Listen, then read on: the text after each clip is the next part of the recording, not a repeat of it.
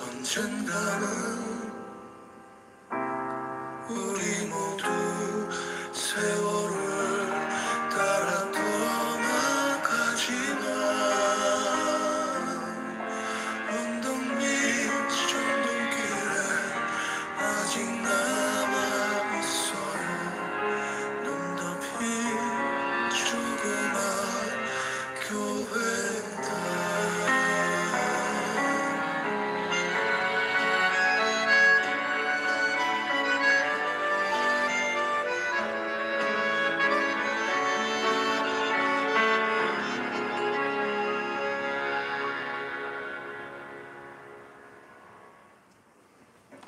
자, 광화문 연가였어요, 여러분.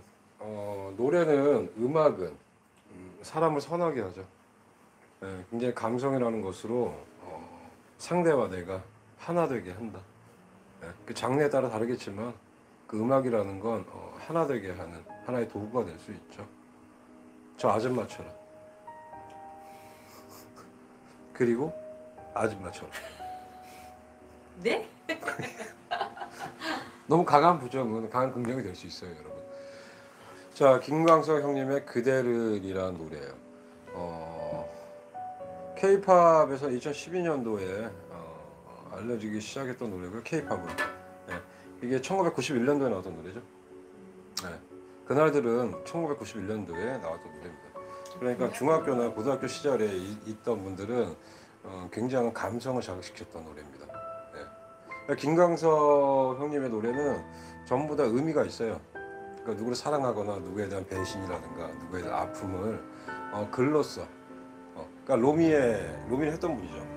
노래로, 그 감성을. 네. 자, 우리 마키아 출연 준비 되셨나요? 자, 엘리펀트 엘리펀트 파워 Coming. 여기 앉으면 되나요? 아 그럼요. 그럼 저기 앉을까요? 자, 진행해 주세요. 진행하라고 좀 쉬게 해요. 에너지 달리니까. 어떻게 진행 인사하시고. 안녕하세요 근데 저 볼 수가 없는데 저기 보시면 돼요. 굳이 아. 봐야 돼요. 아니 뭐 어떻게 뭐 음. 오늘 어떠셨어요, 관리? 아, 오늘이요? 음... 여기 있잖아요. 여기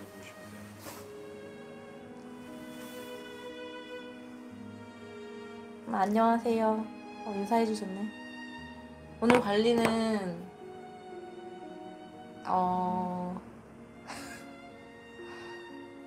전보다 더 마음껏 했던 것 같아요. 테라피, 진짜 테라피를 찾는 사람들이 모인 거? 그 차이점이 가장 큰 것 같아요. 손님들이 어때요? 거기 손님들이요? 여기 손님들. 여기 손님들? 음, 어떠냐는 게 뭘 말씀하시는 거죠? 이전에 관리했던 샵하고 네. 여기서 관리하는 샵의 손님들이 어떠냐고요. 본인에 대하는 태도나 어떠냐라는 거예요. 음, 그 이전 샵에서도 대하는 태도는 다들 매너는 좋으셨거든요. 자, 그럼 네. 진상과 블랙과 네. 어, 본인한테 화이트 손님이 구별을 했었나요? 제가요? 네. 음, 조금은 구별했어요. 너무 원하시는 게 많은 분들은 좀 그럼 제가 훈련시키고 전달하고 하는 게 뭐예요? 훈련시키고 전달하는 네. 거예요. 블랙이 와도 받는다 우리는 진상이 와도 받는다 아니었어요? 어 우리 마키아는 네. 어떤 주제에 있어서 굉장히 오래 걸려요 음, 어 이런 주제를 하나 던지면 1년도 넘어요 저 친구는 왜냐면 아니 그, 그 정도는 아닙니다. 그 정도예요 그걸 알아볼 수 있는 사람은 그 정도로 봐요 굉장히 시간이 오래 걸리는 하지만 그게 나쁘진 않아요 사실 네. 왜냐면 정신 세계가 깊을수록 네. 그런 이상적인 게 더 좋다 음, 이상적인 건 현실적인 거니까 각자의 생각. 네. 각자의 생각을 존중은 하지만 어, 그 생각이 어, 장사나 그런 단체에 있어서는 네. 굉장히 좋지 않은 에너지가 될 수도 있어요. 그 과정을 함께하는 사람만이 결과도 함께할 수 있다는 거죠. 그러니까 이게 제가 자꾸 얘기하면은 뭐 네. 잔소리쟁이다, 말이 많다라고 얘기하는데 여러분 와서 가르쳐 보세요. 말이 안 많을 수가 있는지. 그리고 방송을 매일 하는 거는요, 그냥 외로워서지 않을까요, 제가? 외로워서 하는 거죠, 외로워서. 그냥 혼자 보고, 혼자 기록 남기고, 그리고 그 혼자 봤던, 그냥 혼자 찍었던 영상을 또 봐봐. 그리고 잠이 들곤 하죠. 일어나면 제 영상이 틀어져 있어요. 외로움은 누구도 대신해 줄 수 없어요. 사람도 대신할 수 없고, 돈도 대신할 수 없어요. 네. 뭐 어떤 이는 어, 종교를 통해서 또 어떤 이는 사물을 통해서 어떤 이는 도구를 통해서 그 외로움을 이겨낸다고 하지만 어, 외로움은 이길 수 없는 거거든요. 비가 오면 외롭고 눈이 오면 외롭고 그 외로움의 기준 자체는 기준 자체는 서로가 각자만이 다르지 않을까요? 서로가 정하는 게 아니고 그렇죠. 허쉬 초콜릿이 저의 외로움을 달래줄 수는 있지만 어, 부분적인 거를 한 거죠. 예, 저는 페레레 로시가 더 좋으니까요. 예. 비가 오는 날에는 그 가게들이 흔히 얘기하는 게 있어요. 오늘 비 오니까 날구지한다는 얘기들이 있죠. 그게 뭐예요? 그 이해시키면 1년 걸리니까요. 예, 나중에 카톡으로 물어보세요. 알겠습니다.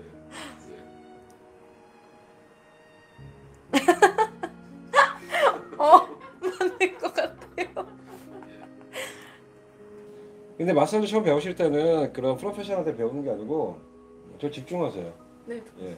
어, 배우는 것보다는 어, 네이버나 어, 자기한테 맞는 것, 보는 것. 그러니까 보는 것이 맞는 거라고 생각하시면 되는 거, 듣는 것이 말할 수 있다는 거죠. 그러니까 일단은 뭘 배우기 전에는 어, 매체나 정보를 통해서 습득하시는 게 가장 좋아요. 그러니까 아무런 기본 지식 없이 가서 뭘 배운다. 어, 시간 버리고 돈 버는 버리는 일이 많다는 거죠. 예. 그러니까 뭘 선택할 때는 기준을 정확하게 잡으세요. 그리고 기본을 아셔야 배워도 어, 남들하고 달라진다는 거예요. 그냥 뭐 가서 모지를 사용하는 방법만 배웠어. 근데 모지를 어떻게 사용하는지 몰라. 근데 혼자 연습만 시켜. 그건 배우는 게 아니죠. 노가다죠, 노가다. 예. 자기 몸을 버리는 노가다. 마사지를 선택하실 때는 여자를 만지고 싶어서 하시는 분들도 있어요. 근데 그건 기본이에요. 누군가를 만지고 싶다라는 건 잘못된 게 아니라고. 시작이라고 시작. 그게 남자든 여자든 간에 무조건 시작이다. 근데 이상하게 받아들인 것 자체가 나쁜 거예요. 그러니까 마사지는 존중받아야 되는 거고요. 마사지를 해주는 사람을 존중해야 좀 더 좋은 에너지를 받고 치유될 수 있다는 거예요, 여러분.